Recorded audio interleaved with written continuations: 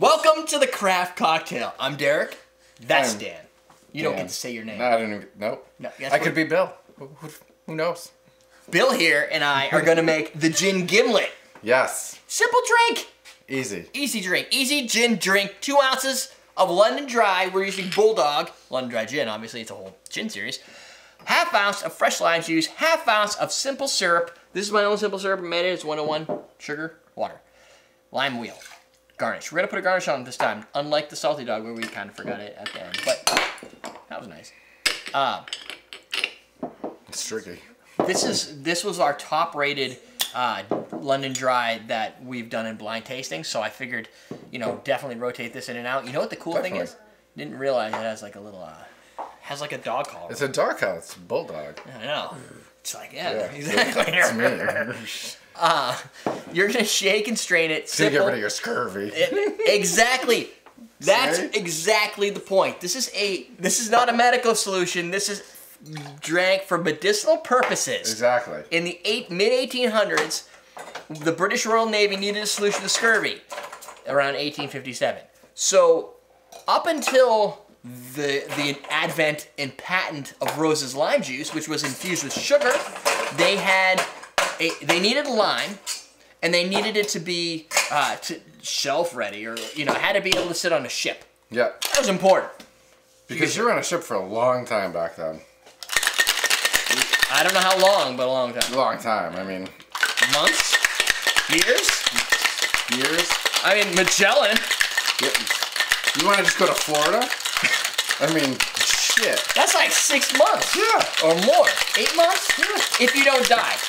Like you're getting scurvy. It doesn't matter. Right. So to get that to get that far, you infuse it with something, alcohol. Gin makes the perfect you know, it, it makes makes lemon lime more palatable. Because lime's pretty sour. So you need your lime, you need a way to get it to your body. So the easiest thing to do is to add gin and lime together, a little sugar, because you can get that in certain areas, you know, during the uh, when when they invaded islands and stuff like that. You can get Yeah. sugar.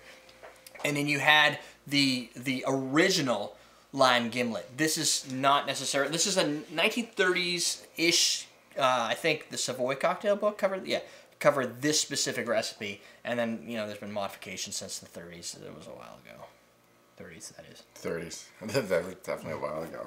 You'll find if you go to a bar and you order a gin, gi- gin gimlet, this would be the only case where I wouldn't be angry if the bartender used Rose's lime juice. Otherwise, I would never. That's never an acceptable solution. No.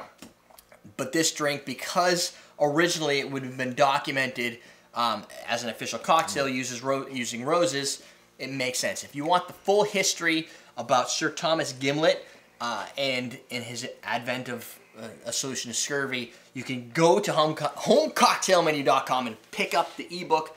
Big descriptions. There's lots of words. I don't have time for you to.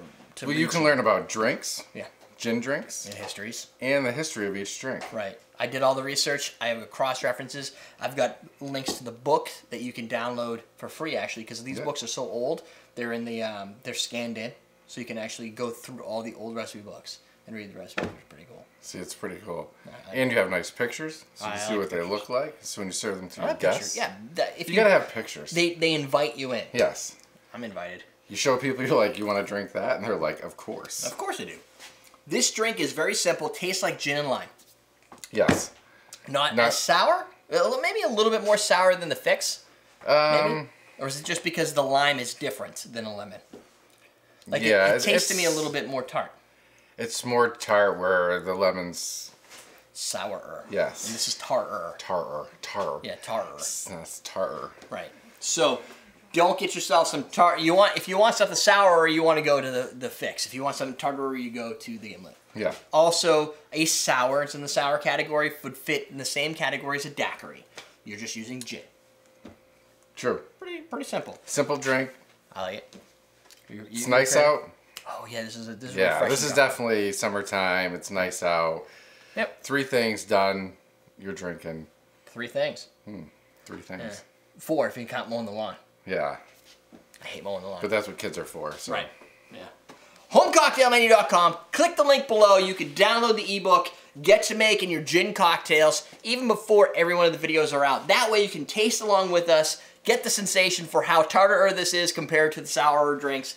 There's a link on the side for another video, and you can watch us make yet more gin cocktails. That's how we suggest you make the gimlet, the gin, Gin gimlet. gimlet.